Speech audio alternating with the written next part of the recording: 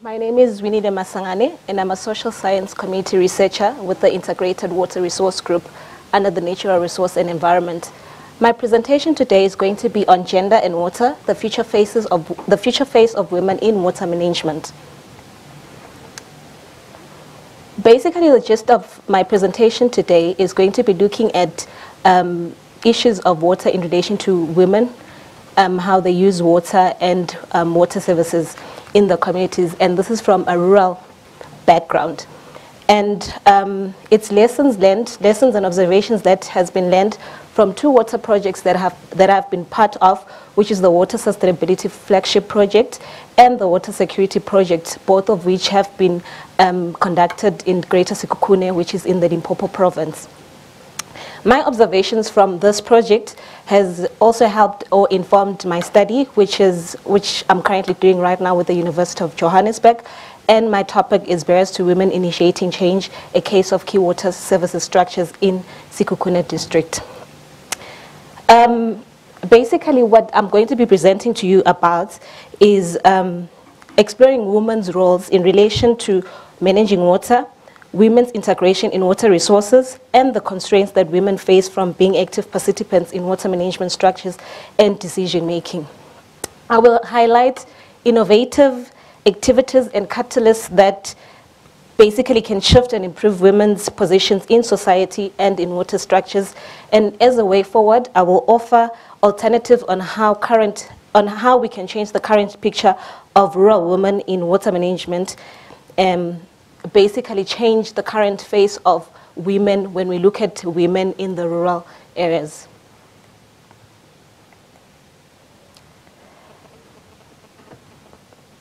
Um, okay. In this picture, what I'm going to be talking about here is that when we look at the African continent, it is actually said that 90% of the responsibility of fetching water is um, the responsibility of women, whereby women is the responsibility of women, whereby women um, fetch domestic water, which is like water for cooking, water for washing, and water. And sorry, it is said that 90% of, of women in Africa have the responsibility of going to fetch domestic water, which is water for cooking, um, water for washing, and water for drinking. And then um, on top of that, women's, women and girls spend like six hours a day going to fetch water in, in rivers or um, where the water source is collected. And as such, these activities, all women going to fetch or going to fetch water in the river for six hours um, limits them from doing other activities, which is for women finding work outside of the home and for the girls attending school. And moreover, if girls go to fetch water in, in the rural area, spending so many hours going to fetch the water, um, they tend to not be able to do their homeworks.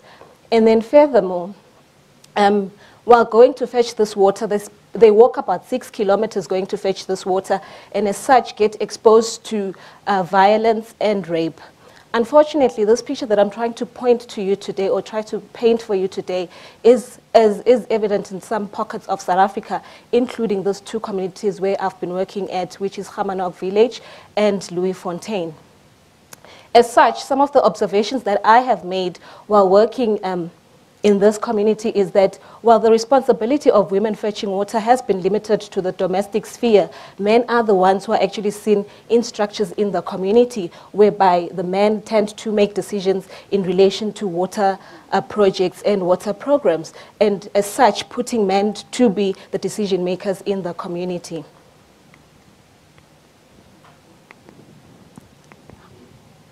However, you know, with the changing times and with the development agenda, um, um, um, the status of women has changed and we are seeing women taking up leadership positions and being in all sectors of leadership in society. As such, we have legislative frameworks that actually support uh, women in taking up leadership positions and that have actually recognized the importance of women participation in development activities and specifically in water management. For example, we have the Beijing Platform for Action, which actually outlines the concrete um, um, outlines the con con concrete actions whereby um, it wants to it, it wants to see women being in power structures as well as being capacitated to take up leadership position and be in leadership decision making structures. As such, also we have the Dublin principle whereby principle 3 specifically outlines the importance or the important role that women actually play in terms of water provision, water management, and also safekeeping of water. Um, the Dublin Principle was actually followed like in 1992 by the UN Conference on the Environment and Development, whereby this conference actually outlined Chapter 21 of um, Chapter 18 of Agenda 21, whereby Agenda 21 refers specifically to the empowerment of women and also supporting women to be in decision-making structures as well as to be in leadership positions. We have our very own South African Water Services Act, which actually encourages um, the active participation for all and wanting or proposes a structure that wants to see women in all structures of leadership and managerial position, including political and technical positions.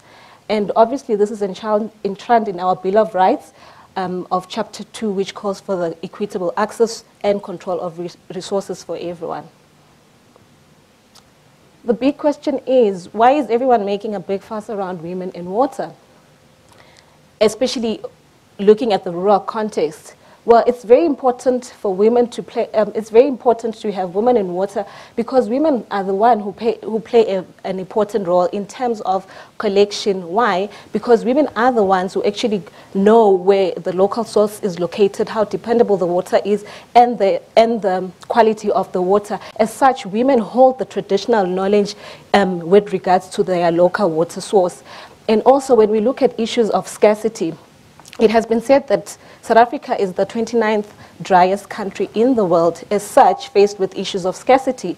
And then um, in relation to women and children, women and children are the ones who are mostly affected by water scarcity, um, water droughts, water floods, everywhere in the world, wherever you can go in the world, they're the ones who are in the front line. At the same time, in as much as women are the ones who are affected by this um, environmental um, issues, they're also the ones who hold the general knowledge of knowing the signs that, you know, this is what we're currently facing or this is what there's climate change happening because of them being the custodians of our natural resources. Water is also a social and economic um, commodity and water has um, an economic benefit. Um, for an example, if women spend like six hours to go and fetch water, and then girls not going to school. This actually takes away the economic benefit from women and girls. The challenges that are currently at the local level.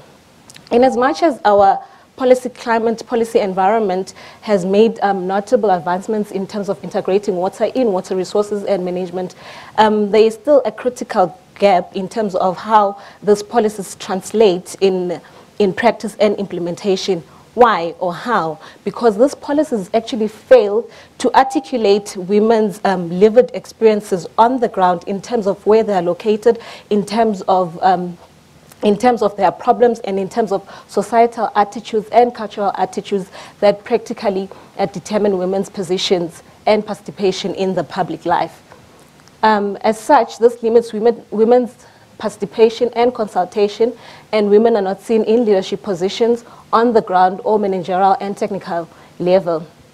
Um, when there's a developmental project that is happening in the, um, in the community, it is common that women are not seen as actors in terms of consultation. Where should we put the tap in the community? Instead, they just see them as beneficiaries or target groups. Then how do we move away from the stereotypes and how do we redefine um, women's roles in water management? Basically, we already have an enabling environment, but then now our enabling environment, oh, sorry.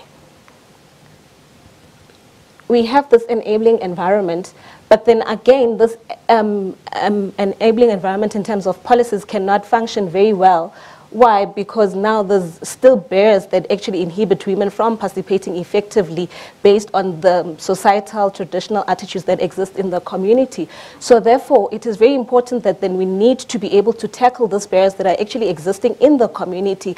And how can we do that? We can do that by facilitating dialogue amongst the community members and showing um, dialogue amongst the community members um, and creating an enabling environment whereby um, we talk about these issues, what are the issues, how do we solve them, and also recognizing the important roles that both men and female can play, um, both males and females can play in bringing about solutions.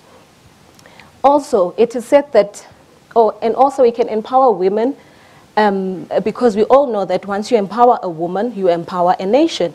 So then, um, after creating this enabling environment, it is important that we need to empower these women to take up leadership positions and also train them into leadership positions.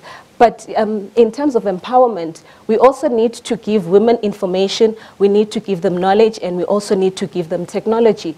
However, we all know, or we, we need to be um, cognizant of the fact that information alone does not mean informed choices. So after empowering these women, it is very important then that we, we organize these women into different groups whereby we have women in leadership, women in entrepreneurship, women that are going to mentor, and then women in engineering and further um, capacitate them in terms of organizing workshops for them where we're going to train them further on those different groupings that we have placed them in and making sure that once they're in those groups, they are able to impact whatever spheres that they step into. And um, beyond doing that, it is important then to form different partnerships or to link these women with different organizations um, in terms of um, linking them probably with the CSIR if we have women who are in engineering, engineering or we have put them in, in, in an engineering sector where we're going to be capacitating them. It's important to bring them, or women in science, it's important to bring them at the CSIR to come and experience the science behind and to show that it's possible to have women who can take up engineering positions. One interesting um, thing as an, a commu community um, um, researcher that we did, I think, on Monday was invite stakeholders, our community stakeholders from um, Leeuwfontein, where we're currently um, in Motetema, which is also in the Sekhukhune district, where we're currently running an algae project on wastewater treatment works, to the CSIR to come and see the labs behind the science and to experience what we actually take to the community to come and experience it at the CSIR. And furthermore, in terms of forming partnerships with these different groups, to form partnerships with the Department of Water Affairs. Um, just last month, the department had a conference where it was actually saying that it has an incubator program for women, where then those women that we have divided into different groups, if they're in entrepreneurship, we can actually link them up to that program where they can be empowered for three years and um, um, where they can be empowered. Furthermore, it's important then when we, we make decisions around water projects in the community that we incorporate all stakeholders as we all know that um, if you incorporate um, all stakeholders, stakeholders are part of the solution, it is um, a way forward towards sustainable development. Um, so basically what I'm trying to say here is that the key going forward here is working towards creating conditions in which women can move from their status of being victims of water challenges and transform them to becoming agents of change and erasing the picture of a woman with a bucket on the head. And then how do we, how, how can that be done? Um, because now we have empowered these different women, now um, we, we won't be able to see the picture of a woman just carrying water in relation to water management.